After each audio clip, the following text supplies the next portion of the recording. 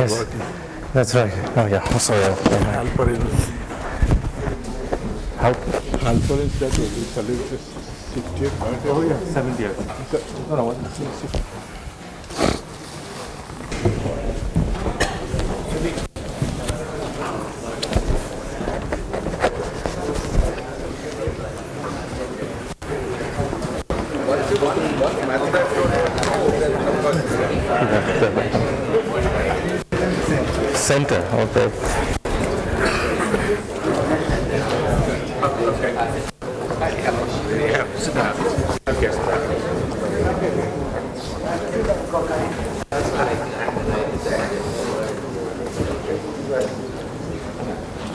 I've physically seen you since you visited Caltech. oh, yeah, that was, that was a long time ago. I remember. Yeah.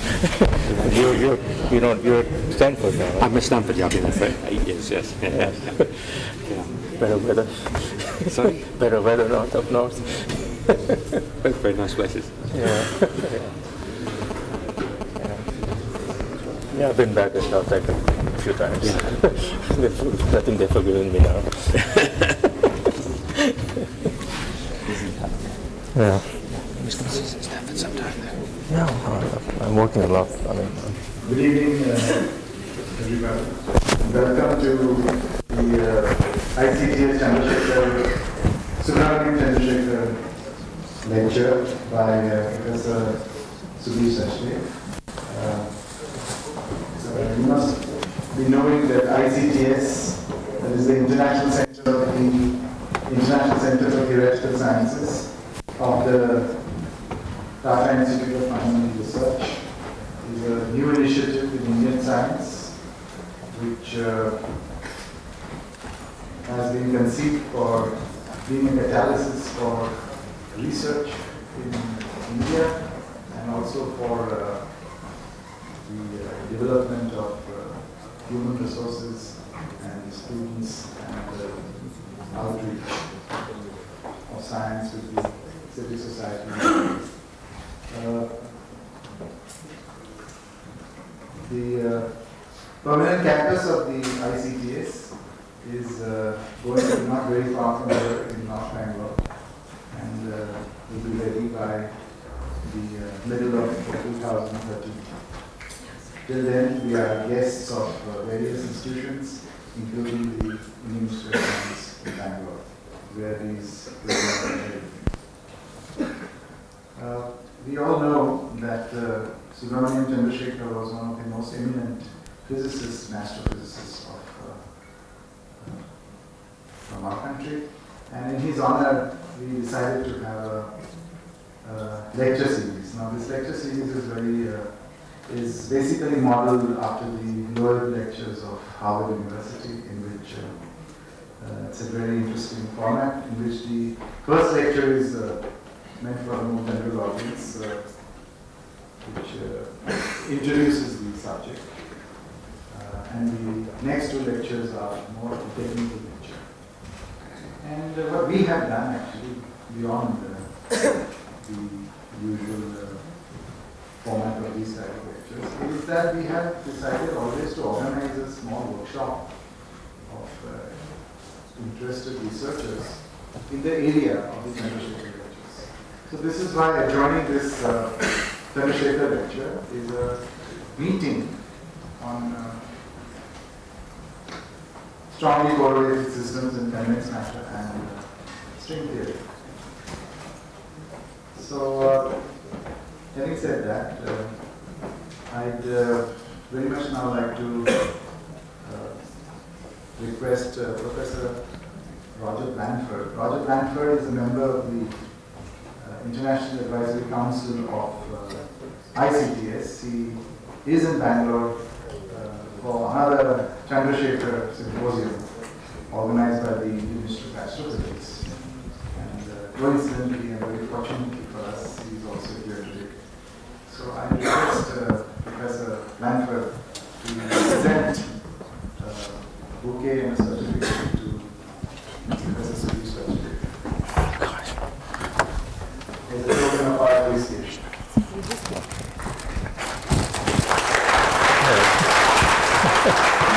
Thank you. Congratulations. Thank you. And uh, lecture uh, certificate too. Thank you. Very For honored. your lecture. Okay, thank you. Well, you didn't have to leave, but.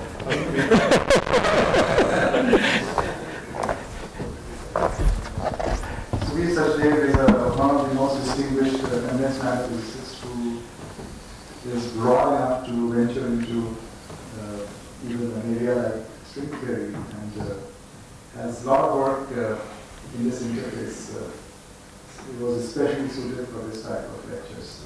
I will not uh, go into introducing, go on to introducing him, but I would like to invite Professor Kedar Damle, one of his students, to give an introduction to Professor Sachin.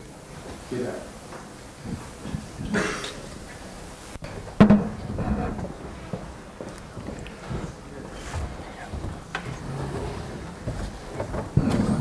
Good afternoon, everybody. Uh, so I've been allotted this pleasant duty of introducing Professor Sachdev.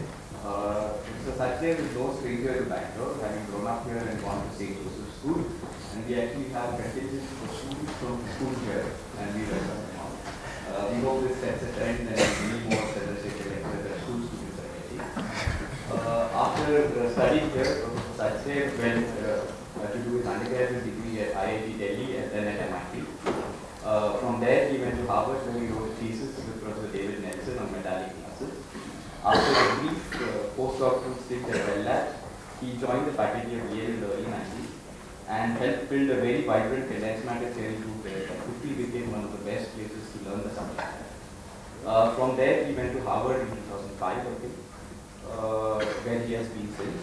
Uh, he's the recipient of many awards uh, and distinctions, including the Guggenheim Fellowship, Distinguished Research Chair at the Perimeter Institute, uh, and the Apker Award of the American Physical Society.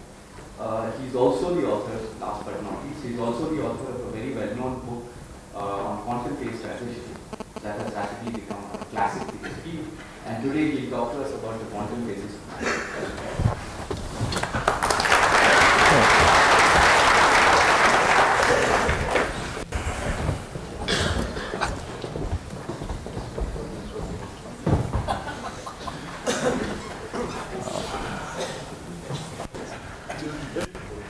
Okay, well, thank you very much, uh, Kedar and Spenta. It's a real honor for me, I guess I shouldn't use that, to be here, uh, especially on this occasion of the uh, centenary of uh, Professor uh, Subrahmanyan Chandrasekhar's birth, uh, and also at the occasion of the, uh, uh, of the forming of this uh, exciting institute, uh, International Center for Theoretical Sciences.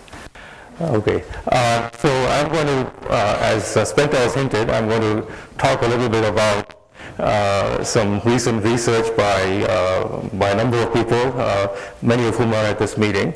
And this research is at the interface of two very different fields uh, of physics. One is, uh, as Spenta mentioned, condensed matter physics, which is the study of materials like superconductors and metals and insulators, which I will define uh, shortly. Uh, and that's been the main focus of my research uh, over many years.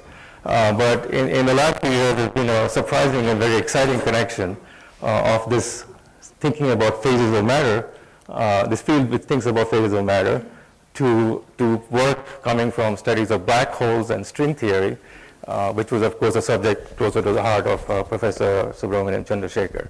So my aim today is to, to kind of give you a flavor of the intersection of these two fields and, and what are the fundamental deep questions in, uh, in physics that uh, we're trying to answer uh, both theoretically and experimentally. So, uh, so let me begin at a very basic level. So when I say phases of matter, I'm sure many of you immediately say, I know what that means. Uh, phases of matter are just, there's just three of them.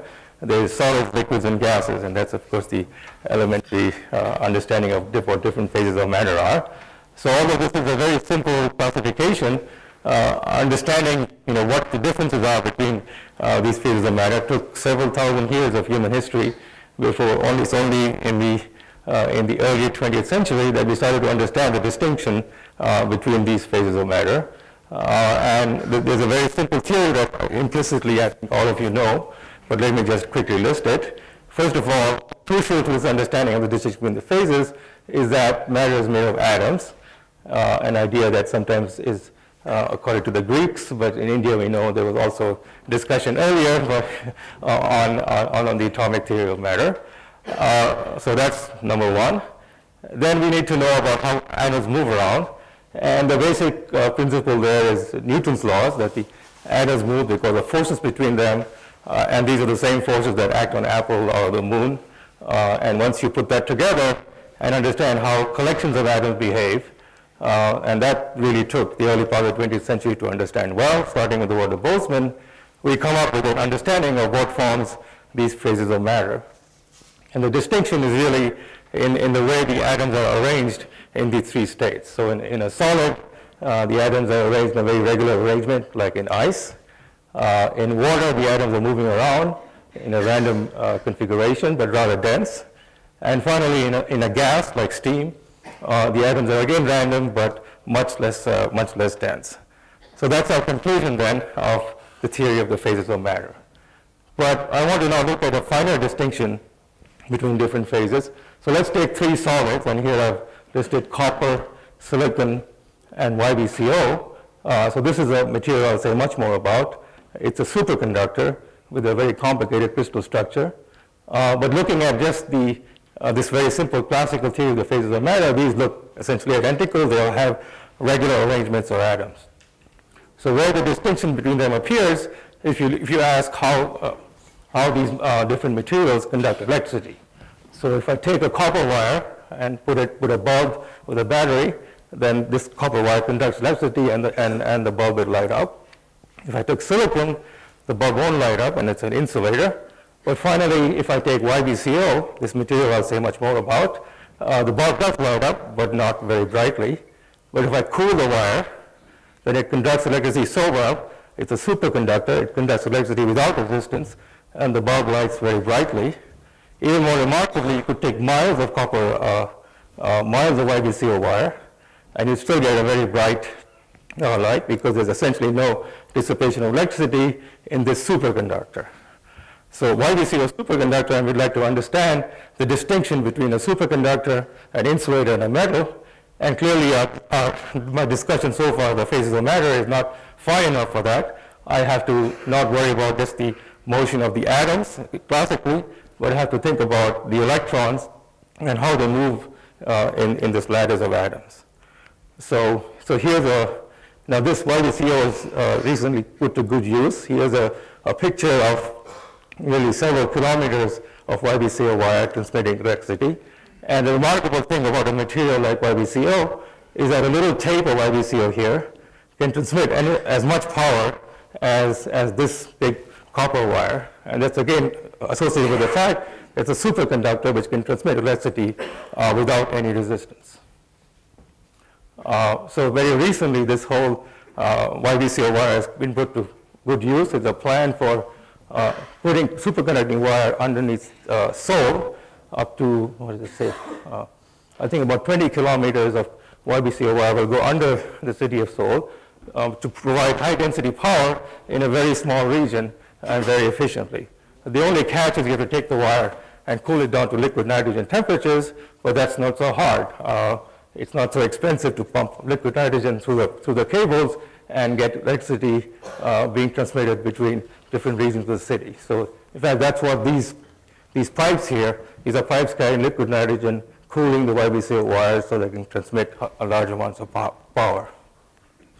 So uh, I want to show you a little demonstration here uh, due to Nandini Trivedi from Ohio State University. I don't know how you can see this. Uh, maybe you can get the lights off, possibly. Okay, so right here, you see a little cake. That's a piece of YBCO. It's a little ceramic. And it's floating on a bed of magnets here. These are just ordinary magnets, neodymium magnets.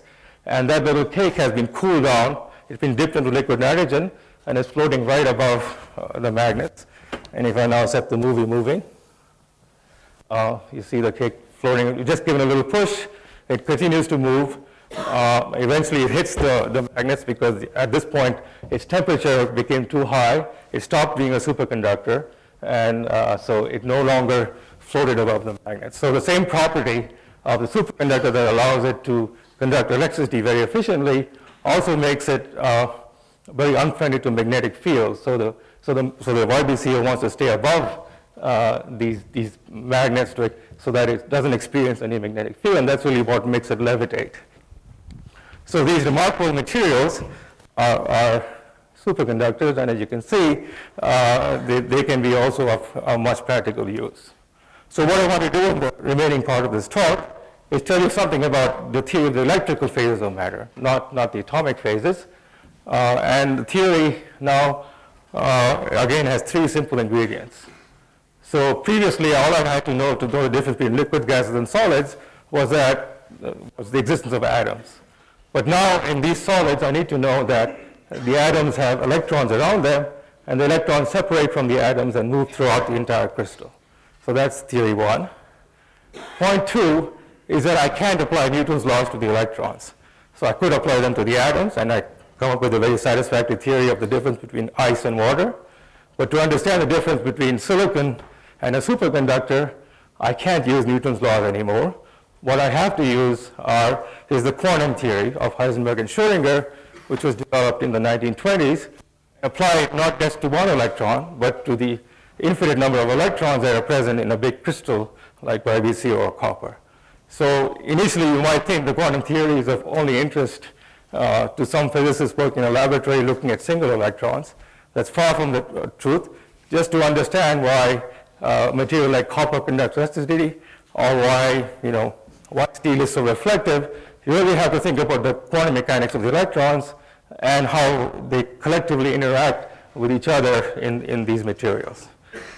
Uh, so what, what's needed then to understand the theories of matter, the theory of the quantum phases of matter, while thinking about the motion of electrons in all these materials. Okay, so I want to introduce, then I'm not going to assume you know much about the quantum theory. And of course, it takes a whole year course to even begin to write down the basic equation of quantum mechanics. But I want to introduce here uh, uh, uh this the central concept. And the central concept that will, I think, get you very far in understanding the distinction between these phases is a uh, it's a very non-classical concept. There's no analog in Newton's equations.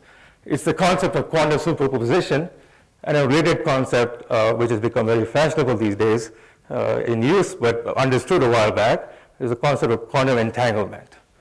So let me first introduce, and these ideas will eventually connect up to superconductivity. Uh, I also want to say a little bit about quantum criticality because that's a subject that ties together superconductivity eventually with black holes and string theory. So these are, this is the practical material I want to understand. This is the theoretical work on black holes that Chandrasekhar did and its consequences. And these will all tie together with the central concepts of quantum superposition. So let me begin by just talking about quantum superposition, and then we'll introduce the, uh, the other areas. Okay, so the basic defining experiment in quantum mechanics is the so-called double slit experiment. So the way to illustrate it is to think about first interference, what the phenomenon of interference of water waves. So we send a water wave here, and it goes through this uh, barrier which has two slits in it. Now as the wave goes through, each slit will radiate its own waves, and they'll start to interfere with each other as shown here. As a consequence of interference, we'll see, a, uh, and imagine the water has a certain, is carrying some dye, and that dye leaves a trace on this screen here. So you'll see a characteristic pattern on the screen, which is a consequence of the, wave the waves propagating and the fact they went through a double slit. Now, what launched the discovery of quantum mechanics was an experiment like this, where you don't send in waves, but you send in, an, you have an electron gun here, just like an electron gun in a TV.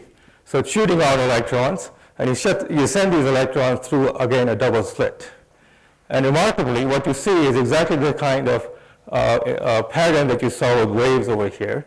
Uh, you see these alternate bright and dark regions, which are characteristics of wave passing through these double slits. If I was just, if I sent marbles through these double slits, I just see a big bump near first slit and a big bump near the second slit, and that's about it. But what you see then is this oscillating pattern, uh, which, is, which would suggest that the electrons are waves. Okay, maybe electrons are waves, but it's really not as simple as that. Suppose I try to ask, and if I, I think of the electron as a particle much like a marble, which I can count, It's not, not a water wave really. I can count electrons one at a time. So I ask the question, which slit does the electron go through? Well, then I can imagine doing an experiment where I look for the electron. And it turns out when you look for the electrons and you, and you watch them go through, you will watch out the pattern that you saw over here. So if you look for them and, and determine which slit it went through, then you wouldn't see any interference pattern and they will look exactly like marbles going through two slits.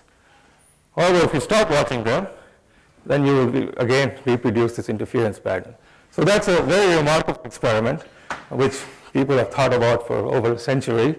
And there's no, there's no alternative to the conclusion from experiments like this and others that really if I ask which slit does an electron go through when I'm not looking, the only possible answer is that really went through both.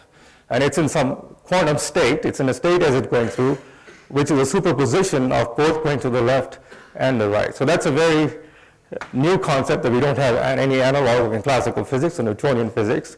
The concept of this non-local nature of the state of an electron, uh, which, also, which involves two different configurations that in fact need not even be spatially uh, uh, that close to each other. So there's one configuration of an electron which I'll denote by, by this symbol L. This is some state, abstract state of the electron going through the left, left slit, and then another state of the electron going through the right slit. And the correct statement is that when, an, quantum mechanically, when an electron goes through the screen, uh, it goes through a, a, state which is the sum of the two. So this is, you know, this is a sim very simple looking equation, but uh, really very deep and, uh, and and remarkable in its consequences. It's just, it's saying that there are these two spatially separate states which really characterize uh, the electron at the same time. And so the information about the state of the electron is, is really quite non-local. Uh, it's both here and there. So, you know, and you should really resist accepting this, and many people did, including Einstein, had real difficulty with these ideas, but experiments in the last century have really convincingly demonstrated that this is indeed correct. Uh, this being, of course, the simplest one. All right, so that, uh, now that I've introduced the radical concept of superposition, let me now go one step further and talk about entanglement. Basically, entanglement is, is just superposition, but when you're talking about more than one electron. So let's take a, a simple system like a hydrogen atom. So that has a nucleus, uh, as I'm sure most of all of you know, and an electron outside it. Now the only thing I need to know about the electron uh, is the, the, the, fact that the electron uh, is spinning on its axis. And in, in fact, there's only two possible directions of spin. It can either spin clockwise or anti-clockwise. I'll represent that spin by arrow pointing up or down. So imagine this is a state of a hydrogen atom with the electron spinning on its axis in the clockwise direction. Okay, so that's what a hydrogen atom on its own looks like. But now let me take a hydrogen molecule. So there I have two hydrogen atoms. These are two protons with two electrons. And now I ask the question, what are, what are the spins of the electrons? So if you go in and look, the spins are again in a superposition state. It's now not a superposition of one electron being left or right. It's now a superposition of the spins of the electron. So there's one state in which one electron is up and the other electron is down. And then there's another state where the situation is reversed, where this left electron is down, the uh, right electron is up.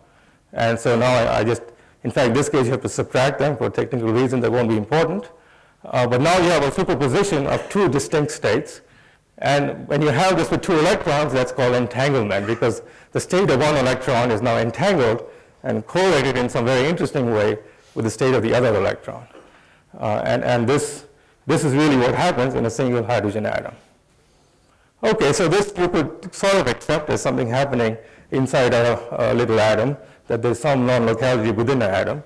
Uh, but what's a remarkable fact about this, this, this and this non-locality or the superposition is what's called quantum entanglement. Now the remarkable fact is that this, uh, while it may be local, uh, it can have very striking consequences over long scales. And this was first pointed out by Einstein, Podolsky, and Rosen uh, where they imagined the following thought experiment. So, so, here's my hydrogen molecule with the electrons in this entangled state. Now imagine we can do an experiment where I pull the two atoms apart, very far away, one to opposite ends of the room, but I do it slowly enough that I don't perturb the spins of the electron.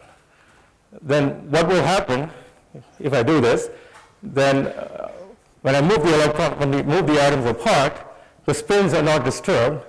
So really, this, if this electron, this atom that I moved over here had an up electron, then the other atom has to have a down electron because that's exactly how this particular state was constructed. But if I move the other part in the superposition, then I have the opposite state, where when this is down and that is up. So now if I come in and look at the spin of the electron, you have this remarkable prediction that if you measure this electron being down, then the other electron, which, may, which could be extremely far away, is instantaneously known to be in the up state. So again, there's a non-locality now which can extend, you know, really across, uh, you know, across the Earth or even up to the, uh, to the planets, if you separated the hydrogen molecule carefully enough, between a measurement and an observation of an electron over here and one infinitely far away, possibly infinitely far away. And this is all tied to the fact that way in the past, they were near each other and their states were entangled. And that entanglement of the quantum state, that non-local nature, is preserved uh, over even when you separate them really far. So this is what's sometimes called the EPR paradox, uh, that observations very far away are strongly correlated.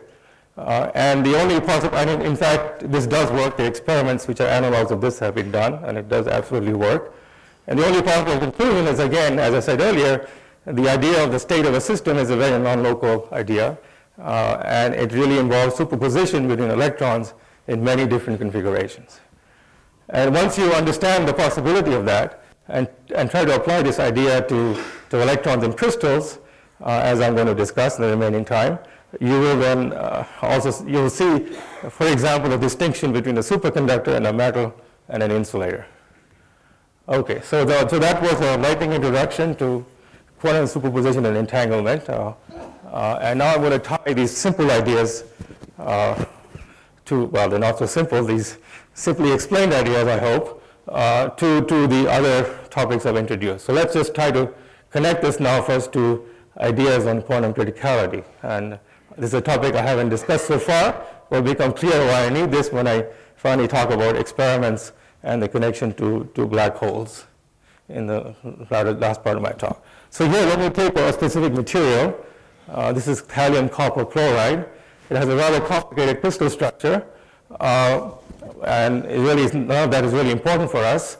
What's important is that each copper atom is very much like a hydrogen atom. It has one electron whose spin we want to track. And in fact, if you take a crystal of thallium copper chloride, what you find is that the electrons are in fact exactly in this EPR pair. This electron is entangled with that one in this configuration. When one is up, the other is down, or vice versa. Uh, and this is this, so this material has the spins basically tied to each other. And, uh, and one consequence of this is that when you put a magnetic field, uh, this system doesn't respond at all. And so you can tell from those experiments what the electrons are doing. Now, if you take this material and apply pressure on it, through reasons I won't go into, but what you observe experimentally uh, is that this entanglement disappears at some point. And then you get a state in which the electrons are either definitely up or definitely down. That is, they decide, well, this electron decides to be up and everybody else falls into place. And so now you're in a state where there's no entanglement. So in this crystal, which has just been studied over the, uh, you know, relatively recently, just by doing something as simple as applying pressure, you can turn uh, you can go from a state with uh, nearest neighbor entanglement of the electrons to no entanglement in, in, this. And this state has this checkerboard pattern of half electrons up and half down, and sometimes called antiferromagnetism. Uh, so that's just a buzzword I'll use. If you see this word, this just means that the spins are in this, uh, this, this kind of pattern where half of them up and other half are down. Okay, so this means that, you, so here's another picture of this transformation and entanglement of the electrons. If I apply pressure to thallium copper chloride, then at atmospheric pressure, these spins are entangled in nearest neighbor pairs. And at high pressure, they disentangle into this antiferromagnet. Okay, so, so, so now we have these two well understood states with relatively simple types of entanglement or no entanglement, and simple descriptions of what the electrons are doing in these materials uh, what the spins of the electrons are doing anyway. But what I want to focus on is this very special point in between, uh, sometimes called the quantum critical point, where this transformation happens, where you go from this state to that state. And it turns out these, these states of matter, right at this very special critical point, are some of the most interesting quantum states of matter because they have entanglement which is again long range. So here it's only nearest neighbors, but here on their own, just by applying pressure at this special point, uh, what we have understood is that if you look at the uh, wave, the, the state of the quantum state of the electrons, uh, it's got spins entangled with each other over, over very long scales. So the quantum critical point then is a special point between the phases where quantum entanglement becomes long range, not by some clever experiment that of very carefully separating two electrons as EPR did, but just simply taking this crystal and uh, tuning it to the critical pressure. Uh, and you can then do experiments to test the nature of this entanglement. So in this state then, this spin of this electron could be entangled with a spin over there, and, and you get this entanglement over all scales really, and you get some very complicated quantum state, this quantum critical point, uh, that many of us are working hard to understand better and related to various experiments on this material. So again, so, this, so then that's the state over here. So now you ask, so here's the ideal state of what this crystal would look like at, low temp at very low temperatures. But you come in and now shake it a little bit and heat it up a bit, and you ask how are the electrons going to respond to a little bit of uh, temperature. So at this point, you draw this phase diagram that uh, we've seen in our conference quite a bit, and I'll just try to give you the basic idea of what's going on here. So you have these two phases, this antiferromagnet uh, and these entangled spin pair state. And when you raise it to temperature, there's a certain blue regimes where you just uh, slowly deform that state. So here the spins, you know, rotate a little bit. Over here, some of these anti-parallel spins in, the, in, in this entangled state get disentangled. Uh, and there's a way of describing all these, these simple states rather in an effective classical picture uh, of how you uh, perturb these local quantum degrees of freedom. Uh, but the region I want to focus on, as it becomes clear for, in the remaining part of my talk, is this intermediate regime called the quantum critical regime, where really to understand what's going on, you really have to think about quantum entanglement at all length scales and how things evolve in time and you have entangled electrons uh, interacting with each other. Uh, and so that's really a, a, frontier field which many of us are really trying to think about and also test in various experiments. All right, so that's then you don't know what, now know what this buzzword quantum criticality means. It's, it's a way of getting complex quantum entanglement uh, in, in, in, a, in, a, material with electrons uh, like thallium copper chloride. All right, so now let me introduce the other piece of the puzzle, which is superconductivity. So what is superconductivity due to? What causes uh, YBCO to have this ability to transmit electricity over miles without any degradation uh, in the voltage?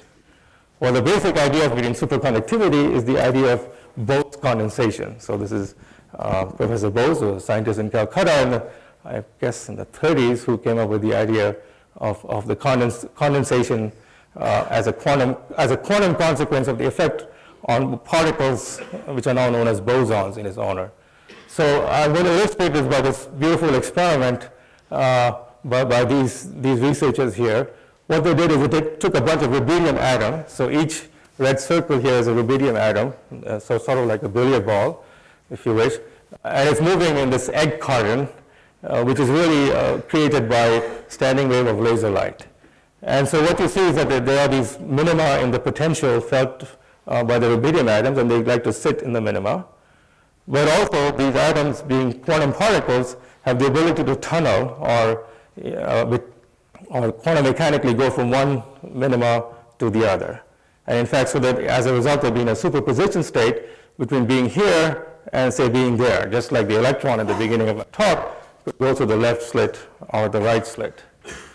So what, what uh, these researchers did was study the configuration of these atoms as you change the intensity of the laser light, which you can think of a way of, of, of changing the, the, the, depth of the carton. And what they found was that when this, when this potential was not too, too steep, and, and there was lots of superposition of atoms between neighboring sites, uh, you got a superfluid state. Uh, and this is due to the formation of a Bose or a Bose-Einstein condensate. And what this means is that if you took this, this system and you tilted it a little bit, uh, all the atoms will flow without any resistance at all. Uh, and this is analogous to the ability of electrons and why in YBCO to flow without any resistance and transmit electricity over long, long distances. So what is this state that allows this liquid of atoms to flow without any resistance, sometimes called a superfluid or a superconductor? Uh, well, in a word, it's just this very simple state. It's again a superposition. So I began my talk by talking about the electron being a superposition of left and right. Well, here we have a very large number of atoms, and it's really a superposition of all atoms in all positions. Really, that's all there is to it. And let me just show you in a few pictures. So let me take a simple picture with three possible positions of the atoms, and, and, and let me put one atom in it. So the, this one atom could be here, but it could be here or here. And it prefers, in fact, to be in all three places at the same time. So it forms a superposition that I'll call G. So this blue atom is in the state G, but it's either here or there or there. And it's really in all three places, uh, just like the electron was either left or right. So that's one atom. Now let me do this for a second atom uh, and a third atom. So I have now three atoms who are all in all three places at the same time, the blue, the green, and the red atom. And this is what their states look like. So now each one of these uh, G's is the superposition of, you know, the, the, the, blue G is the blue atom in three places. Uh, the, the red G is, is the red atom in three places, and similarly for the green G. If I expand this out, I have 3 times 3 times 3, 27 terms, and this is what the terms look like. There's one in which, you know, the, they have blue, green, red. There's a term over here where all three are on the right, or a term here where all three on the left, and so on. And this set of 23 terms is the analog of the superfluid state uh, of these atoms. So it's, it's, super, it's, basically superposition maxed out at to, to the pos maximum possible extent. We have the atoms being entirely non-local. All the atoms are delocalized, uh, and, and it's this, the fact that the atoms are everywhere at the same time, really that's really what's happening, uh, the, what causes superfluidity uh, in this material. So here's another picture of it if you were to take a snapshot of a, a, picture of these atoms while they're in the superfluid state, you will get any one of these configurations with essentially equal probability. Uh, and it's really in all of those 27 configurations for these three atoms. So that's, in, in very simple terms, once you understand superposition, you also understand the idea of superfluidity of bosons. Uh, and that's really what's happening here. So here's a snapshot of my superfluid it really is one term in a very large superposition of different states of the atom uh, that allows them to then flow without resistance. Okay. Uh, so this is just a caveat for the experts, and I won't say more about that.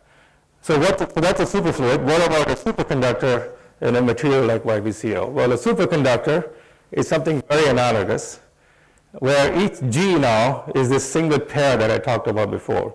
I talked about these two electrons forming uh, this entangled state, sorry, up, down, minus uh, down, up.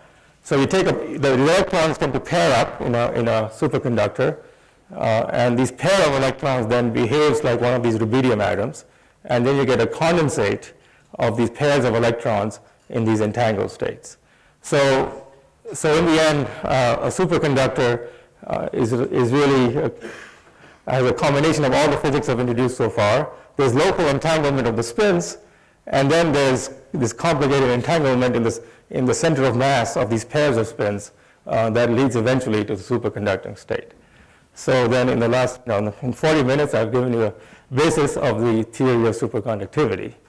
So here's then a, a more careful look at this high temperature superconductor, this YBCO material. These are cousins of them. Uh, these electrons that form this state uh, sit on the copper atoms here, which form a square lattice. Uh, and, and, for reasons that we are beginning to understand, they, they do this very readily and at rather high temperatures. That's why they're called the high temperature superconductors. Now, these were discovered in 1987, this family of superconductors.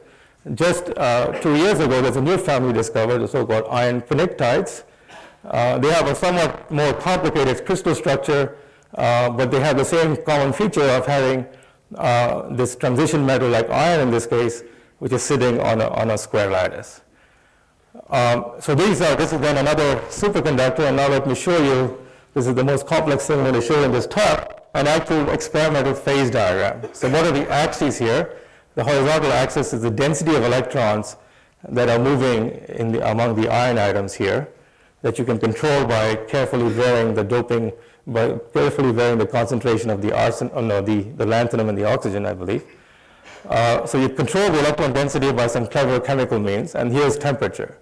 And then there's a window here where the systems form a superconductor uh, up to rather high temperatures uh, for around 50 Kelvin. Uh, and this is the, the state where you have this Bose condensation of pairs of electrons. You also see this regime here where you get antiferromagnetism, much like in thallium copper chloride under pressure, the electrons, rather than being, being entangled in pairs, uh, have a definite spin polarization. And finally, I want to focus on this red region here. Uh, this is in some sense the most least well understood and the most interesting region. Uh, it's sometimes called for once of, a, oops, and uh, I got that out of order. So the, what I want to, first point I want to make is make an analogy between this shape of this region and this antiferromagnetism disappearing here, uh, and this kind of phase diagram I showed you for thallium copper chloride. So this red region looks rather like this quantum critical region uh, where I emphasize the long range nature of entanglement. Uh, so highly non-trivial nature of entanglement, very different from either in this state or in the superconductor. Uh, and so this region in between is sometimes called a strange metal, for want of a better word. And it's also linking, uh, to best we understand today, where you again have this non, non-local entanglement uh, controlling the dynamics of those electrons. And one of its features, which is being measured here as a resistivity, has a certain dependence on temperature that's not particularly important for the rest of my talk. Anyway, so the challenge now for many of us working in this area is to first of all understand what causes the high temperature superconductivity, uh, uh, and, and then how, why is it connect, why is it often found near magnetism, and finally, what is the strange metal, and can you really understand uh, the physics of entanglement in this rather strange metallic state? Uh, that's really the heart of the problem. Many of us believe that once you get this straightened out, you'll have a much better understanding of these complex phenomena in, in these materials. Okay, so that's the end of a lightning discussion of superconductivity. Again, showing you uh, how quantum entanglement appears in, in an even more richer variety of states here, which involve not just uh, spins being entangled, but also the positions of pairs of spins um, in this complicated Bose condensate state. So now to make things even more complex, I'm going to change gears completely and then talk about things that I knew almost nothing about a few years ago. Uh, but this is, of course, uh, related to work by Chandrasekhar, which seemingly seems completely unrelated. But as you'll see, ideas on quantum entanglement have, have recently turned out to be really crucial to understanding the physics of black holes. And those ideas have a really exciting interplay with some of these other ideas we introduced in the context of quantum criticality and in superconductivity. All right, so what's a black hole? So I presume most of you know what a black hole is. It's a, it's a very dense object uh, with lots and lots of matter in it. Uh, so that if, if, you try, if light tried to escape, well, the light carrying energy uh, is also gravitationally attracted back to the hole, black hole by Einstein's general theory of relativity. Uh, and so if the, if, the, if, the, if the star is so massive that light can't, even light can't get out, uh, well then that's called a black hole. So this is one of the remarkable consequences of Einstein's theory of general relativity, uh, which also then showed the existence of what's called the black hole horizon, uh, which is this shell at the surface of the black hole, of radius, which is related to the Newton's gravitational constant, the velocity of light, and, and, the mass of the star. So in fact, now, you know, these were just theoretical ideas uh, at, at, at, the time of uh, discovery of Einstein's general relativity. But today we have many reliable examples of black holes in, uh, in the universe. In fact, there's probably a black hole at the center of our own galaxy, which is the, has a mass of several million solar masses. Uh, and so they, they, really seem to be everywhere and really crucial in understanding these uh, phenomena in astrophysics. But here I want to think about, you know, what for astrophysical black holes are, are very small effects, the effects of quantum mechanics uh, right near the right near the horizon of a black hole. Uh, oh, yes, one thing I should say. So uh, the, this, the theory of black holes got, a, you know, of course, a, a basic start by fundamental work of Chandrasekhar, for which he won the Nobel Prize they argued that above a certain mass called the Chandrasekhar limit, uh, stars were unstable and some of them could collapse to black holes. Uh, that was understood a bit later. And then he went on to also develop uh, a very detailed theory of the dynamics of, of black holes. Okay, so here I want to turn instead to jump ahead to 1974, where just purely theoretically, Bekenstein and Hawking thinking of, started thinking about the effects of quantum mechanics, ideas of quantum superposition and entanglement on, on what have, on near the horizon of a black hole. And this led to, you know, very remarkable uh, conclusions. So, and, and the basic idea is now let's go back to the same EPR experiment I began my talk with, where you have an entanglement between the spin of two electrons, one up and the other down in a hydrogen molecules. And let's just imagine that this hydrogen molecule uh, finds itself to be unlucky enough to be on either side of the horizon of a black hole. So just say, just imagine that this horizon, one atom is on one side, the other atom is on the other side. It's possible. Well then, because of the gravitational forces, one atom will pull inside, and the other one, well, perhaps you're pulling it away somehow, it's able to escape. So it's, it's possible to have a process where just quantum mechanically, you can have an entanglement between, a, so this, the spin of this electron then is entangled to the spin of that electron. And so although no information can pass across, the, no information can go from the inside to the outside, if I measure the spin of this electron to be up or down, in principle, I know what the spin of the other electron is doing. So the so a quantum state can be you know, not only entangled across a double slit or over many sites in a crystal like YBCO, uh, it can also be entangled on both sides of the horizon of a black hole, one atom outside and one, one atom out inside.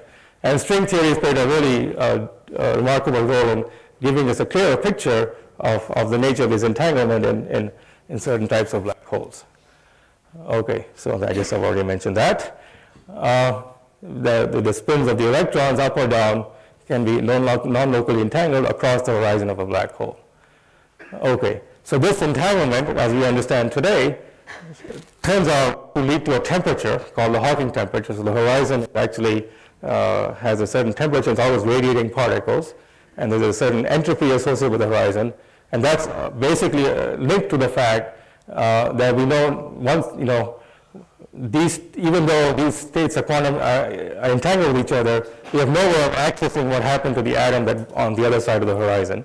Uh, and so there's an, uh, and that leads to an uncertainty in our knowledge of, of, of, the state of this electron out here, and that eventually leads to entropy and temperature of the black hole, uh, called so-called Hawking temperature and the Bekenstein entropy. All right, so then that's a lightning introduction then to black hole and string theory, and I've shown you how quantum superposition and entanglement is also a key feature in understanding this remarkable new physics of the interplay between quantum mechanics and black holes. And of course, it was crucial in superconductivity. So let me, uh, I guess the last 10 minutes or so, wrap up my talk by closing the last leg of the triangle. So, which is of course, you know, what we want to do. Can something we know about black holes teach us something about superconductivity? Okay, so he here I want to consider the following Gedanken experiment. So this is, I hasten to add, there is no black hole out there which looks anything like this. Uh, but imagine that you have a black hole and you're able to add charges to the black hole, which, which all have the same charge. So just all electrons with negatively charged, no protons.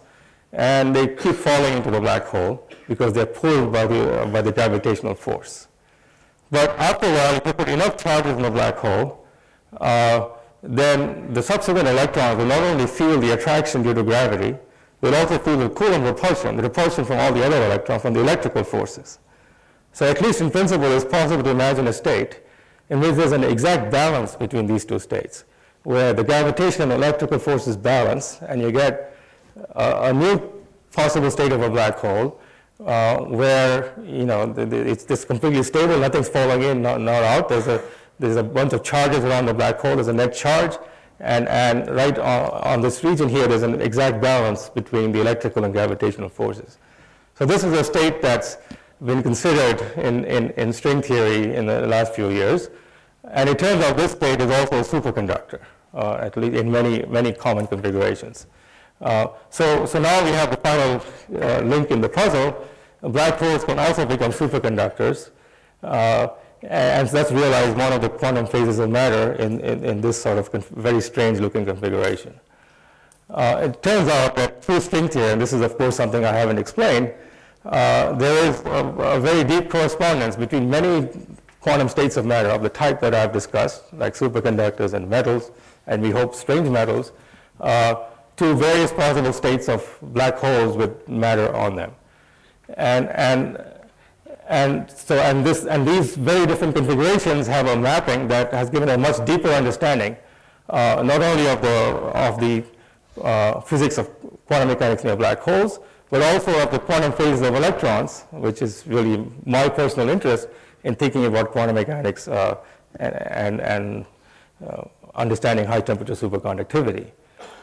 Okay, so the, and, the, and the common thread tying together uh, superconducting black holes, quantum criticality, and, uh, and these uh, superconducting state is the idea of quantum entanglement, and especially the, the critical points where the entanglement becomes uh, long range. And really what the fundamental property of a black hole that makes it so useful, uh, at least theoretically, is also a very natural state, as I discussed, where you get long range entanglement. Okay, so the main question now, which is really in a sense open, but, also, but keeping us, many of us excited and thinking about things much more, is can this connection between long range entanglement near, uh, near a black hole and long range entanglement near a quantum critical point of the type found in thallium copper chloride or in uh, one of these iron pnictide superconductors, can that lead to a deeper understanding of the two fields and eventually to a better understanding of, uh, of high temperature superconductors like YBCO? I think the, the answer is still open, but it's definitely true that we've got a new window into thinking about uh, the strange consequences of quantum mechanics uh, in, in an entirely new regime where you've gone from just the superposition and a double slit to entanglement over you know, macroscopic scales involving millions and millions of electrons together. So I think I'll hand over there. Thank you very much.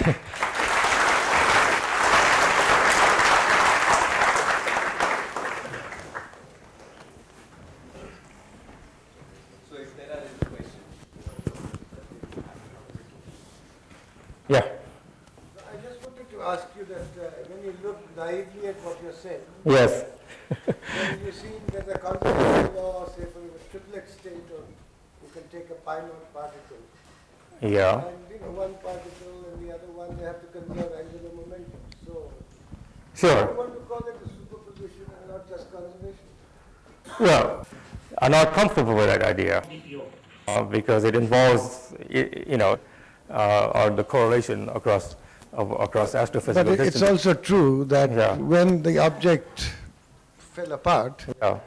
there's a perfectly causal relationship between how one went away and the other went away. Well, At much so- later point, it's not, but so. Well, okay, so uh, it is true that for just this one simple experiment, it's possible to define the so-called hidden variable theories and, and, and sidestep the idea of entanglement and really think about it as you know, correlations between two different configurations which you're just measuring probabilistically, you know. But there are more complicated measurements. So for example, you can imagine doing a measurement not just along the up-down axis, but on the left-right axis and other angles. And if you look at the whole set of them, then you're forced to this idea that there is really a non-local superposition. That's related to the so-called Bell's inequality that I didn't discuss.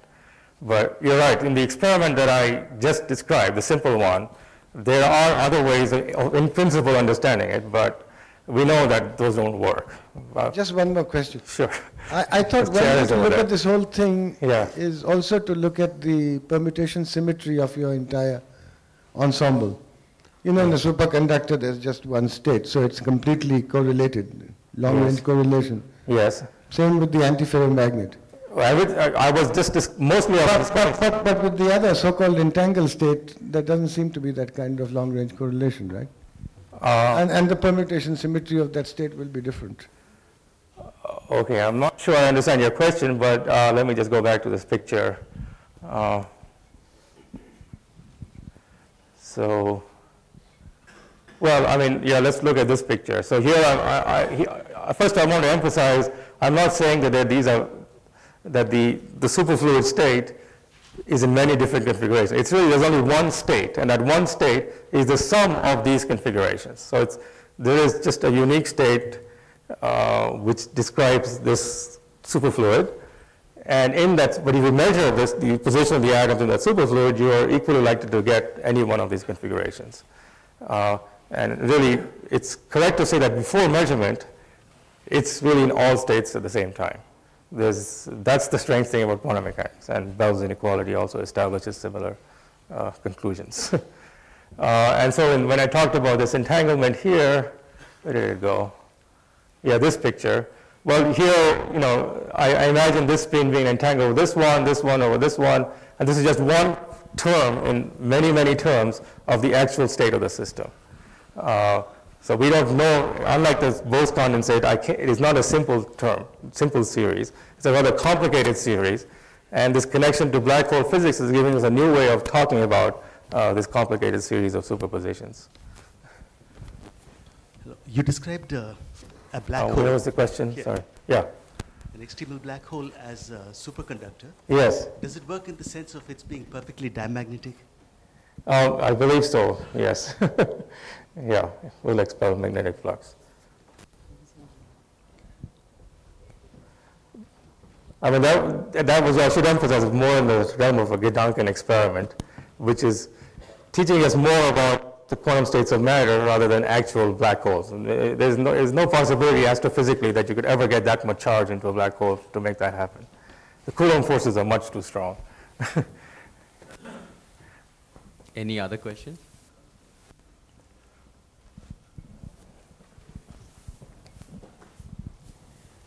Uh, quantum mechanics goes back a long ways now, and there are things that you're not supposed to understand. They're just not. Nobody's actually done it. Um, well, I, I don't know. It depends what you mean by understand. I think we have a complete theory which we, in principle, know how to calculate any you can conceivable calculate, you can calculate a lot, but you don't necessarily know what's actually happening. Well, I think, you know, that's a philosophical question. I think if you can calculate, you understand. Well, okay. in my opinion. Then, then, then the question comes up is that basically this is a wave theory. Uh, okay. What's waving? Well, I, I didn't mention waves anyway, did I? so the wave theory is one formulation of the way you can formulate quantum mechanics, but I try to abstract it. Uh, just forget about waves, just think in terms of discrete states, discrete state of an electron going to the left or the right, or these atoms, uh, you know, these atoms being in these discrete positions, here or there or there. Where is the wave? Uh, these are atoms, they are, they are real atoms, and they're three places at the same time, and it's in a superposition. So the real revolutionary concept is, is the idea of a superposition.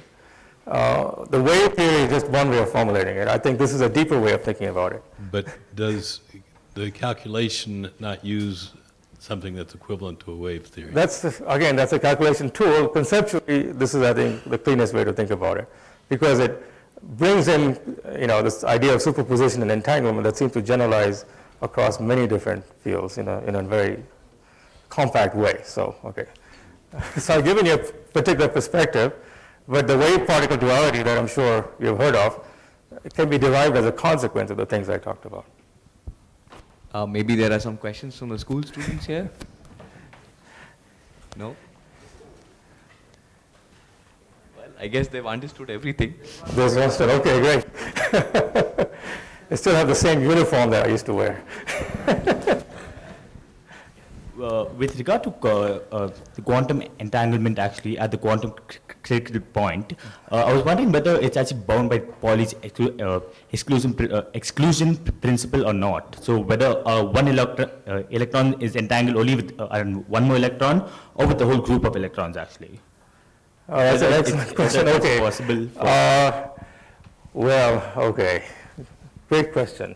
So let me just throw this picture. So there's many levels of entanglement here. So there's like two levels of entanglement in this quantum critical state. So here I'm showing you a snapshot uh, of the electrons. And in this snapshot, this electron is entangled with that one, and this one with that one. And at least for spin, these electrons with only two possible spins, that's, they have to entangle pairwise. However, this is just one term over many, many terms. I've just written one snapshot. There are other terms where this is entangled with this one and this one and that one and so on. So you just pair them up any way you want. You take a superposition of all of that. So there's not only entanglement of these these valence bonds, if we call these ellipses a valence bond, uh, these are basically covalent bonds of chemistry. There's not only entanglement within a covalent bond, there's entanglement of the covalent bonds themselves. So, uh, so once you account for both levels of entanglement, then each electron eventually gets entangled almost with every other electron in, in the final state.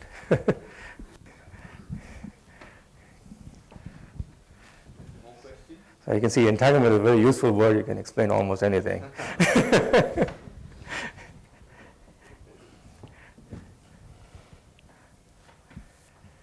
Let's thank Subir again. Okay, thank you.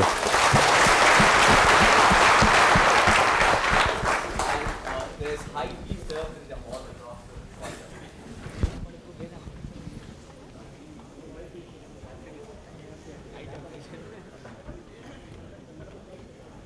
Hey, you are going to mess? Yeah. But that is high tea. This is tea, man.